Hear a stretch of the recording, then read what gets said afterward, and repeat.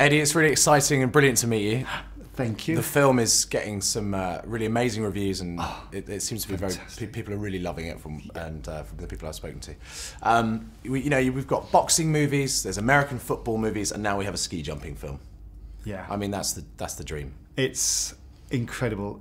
Who'd have thought? I mean, I in a million years never thought when I when I plummeted to infamy at the Calgary Olympics 28 years ago that they would make a movie about my life. And not only that, it's an incredible film. They've they've really captured the heart and the spirit of the story 28 years ago, and uh, it, it makes me cry every time I see it. It's a, it's a wonderful film, and uh, I I hope people enjoy it.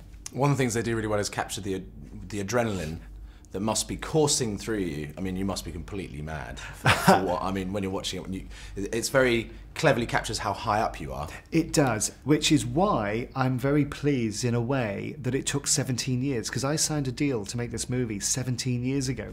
But I'm glad it's taken that long to make because technology has moved on enormously over the last 17 years, especially in cinematography.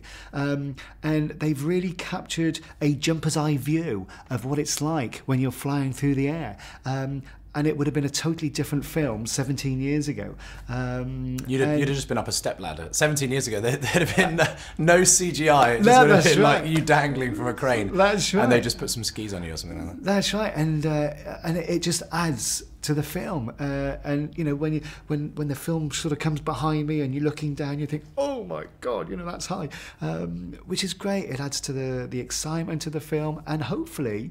People will realise just what it took for me, not only to just go off that jump, but to jump 71 metres and um, you know and perform and uh, yeah and get inspired by it. It's it's it's just an incredible film. Is there a common misconception that you were actually bad at this sport? Because you can't be bad. Coming last at the Olympics is more than the majority of anyone who's ever lived.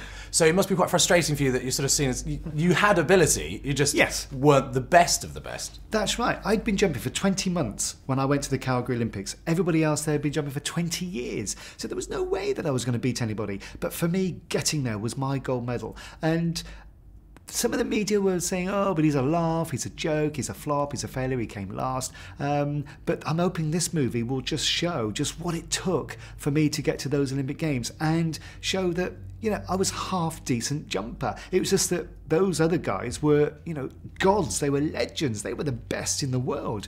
Um, and I was just doing the best I could with what I had. And uh, I hope people have a newfound respect and a newfound, um, you know, kind of appreciation of, of what it took for me to get there and the realization of my dream getting there. Well, they're not making movies about them, are they? That's right. They're That's right. Even Matti, I think they made a film about Matti Nykänen in Finland, but uh, No one saw it. I've never heard of it. no. Can I ask you about Taron because um, he's a he's a brilliant young actor. Saw him last year in Kingsman, and then he's playing you. What did you make of his performance? He was brilliant. I met with him for uh, an afternoon. We had tea and biscuits, and we were chatting about a month before they started filming because he wanted to get an idea of my accent and my mannerisms. And he's done a lot of research uh, on all the shows that I've done over the years and going to Calgary. And when I met him on set for the first time, it was like looking in the mirror. He looked exactly like I looked 28 years ago. He had the jaw, the moustache, the glasses, uh, the hairstyle, everything.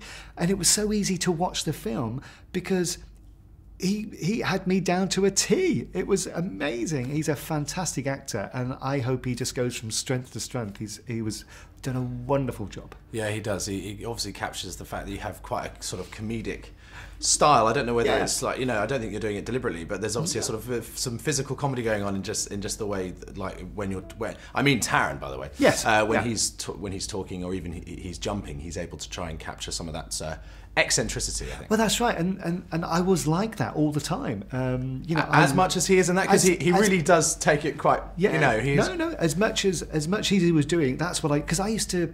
I mean, I love skiing and I love ski jumping, and I was always having a laugh and that kind of thing. And and sometimes I would hamming up, ham it up a bit. You know, even when I'm jumping, and you know, I used to jump with the Japanese a lot, and you know how they like karaoke, and we used to stand at the top of the jump, and I'd start singing a song, and then they'd all join in, we'd all singing karaoke at the top of the jump, and we used to do lots of little things like that. And um, you know, I'm, I just love doing my thing, you know, skiing and ski jumping, and uh, so yeah, he just he just got me just perfectly, and it was it was it was